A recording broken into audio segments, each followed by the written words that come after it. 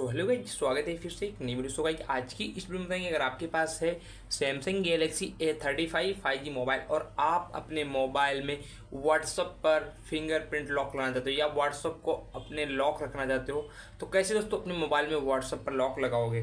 तो व्हाट्सअप पर fingerprint lock लगाने के लिए आप अपने मोबाइल की सेटिंग्स को ओपन कीजिएगा।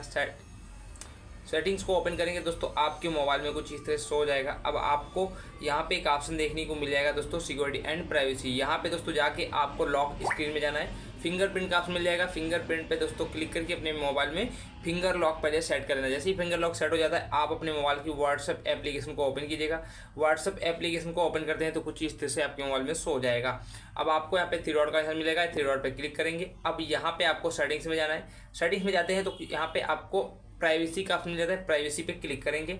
इसी प्राइवेसी पे क्लिक करते हैं, थोड़ा नीचे स्क्रॉल डाउन करना है। यहाँ पे आपको फिंगरप्रिंट लॉक का ऑप्शन मिल जाता है। फिंगरप्रिंट लॉक पे क्लिक करेंगे। जैसे क्लिक करते हैं, यहाँ पे अनलॉक विथ फिंगरप्रिंट का ऑप्शन मिलेगा। इसके सामने टिक आपको इनेबल करना है और यहाँ से आपको वेरीफाई कर लेना है। जैसे आप फिंगर से फिंगर को टच करके वेरीफाई कर लेते हैं, अब यहाँ पे इमीडिएटली पे क्लिक कर देंगे। और आपके मोबाइल में दोस्तों फिंगरप्रिंट लॉक व्हाट्सअप में सक्सेसफुली सेट हो जाएगा। अब आपको करना क्या है? व्हाट्सअप ओपन करेंगे, देख सकते हैं, जितनी बार भी व्हाट्सअप ओपन करोगे, उतनी बार आपको फिंगर से फिंगर को टच करना पड़ेगा।